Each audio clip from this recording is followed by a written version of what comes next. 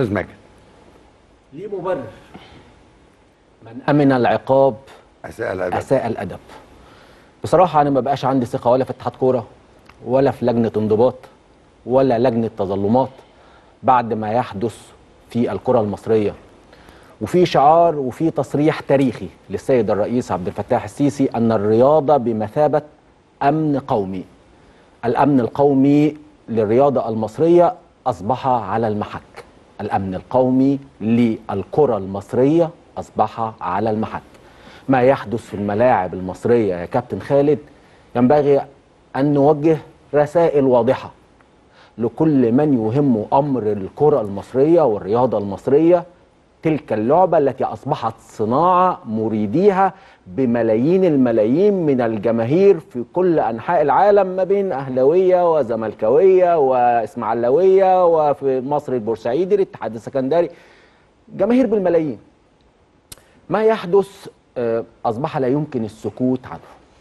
اللي حصل النهارده من حسين الشحات مش آه، لا يندرج تحت كرة قدم ولا مباراة كرة قدم.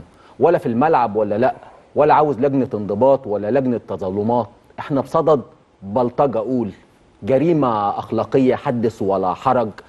المشهد مخزي المشهد عار على كل من رأى هذا المشهد ورفع شعار لا أرى لا أسمع لا أتكلم وبدل ما يتكلم على الواقعة المسيئة المهينة لينا كلنا لكل الأندية للأهلي وللزمالك والبيراميدز ولكل الدوري المصري اللي صورته دلوقتي بقت يعني بهديها لكل الناس اللي عندها طموحات للدوري المصري. لكن أنا مش مستغرب.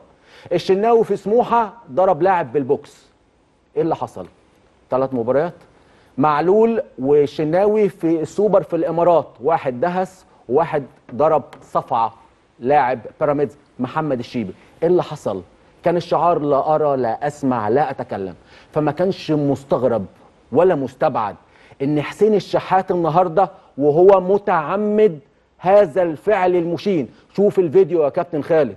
وحلل كل وقعة وكل حركة وكل لحظة وكل ثانية. حسين الشحات كان واقف وكان متوجه لمحمد الشيبي وتعمد إن هو يجذبه بإيده اليمين ويصفعه بإيده الشمال.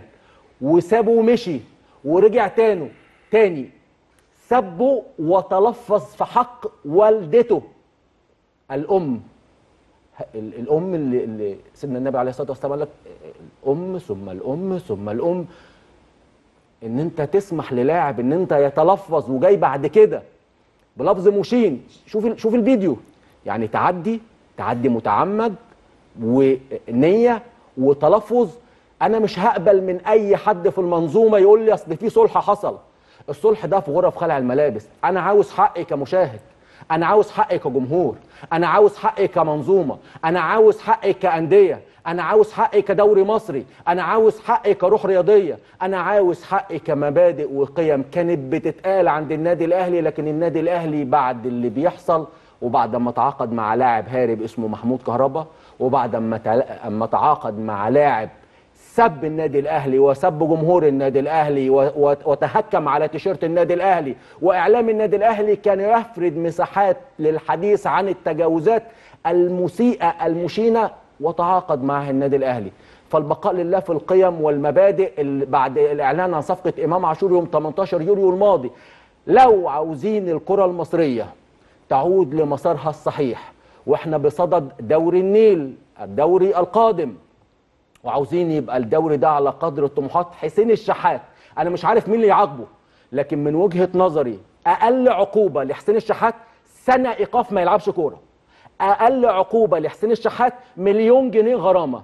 أقل عقوبة لحسين الشحات إن هو كمان يطلع ببيان اعتذار لكل الجماهير المصرية على هذا الفعل المشين الخادش للحياة المهين والمسيء لينا كلنا ولصورة لاعب عربي شقيق بيلعب في الدوري المصري وهو هنا وال- ودايما مصر هي قبلة كل الأشقاء العرب.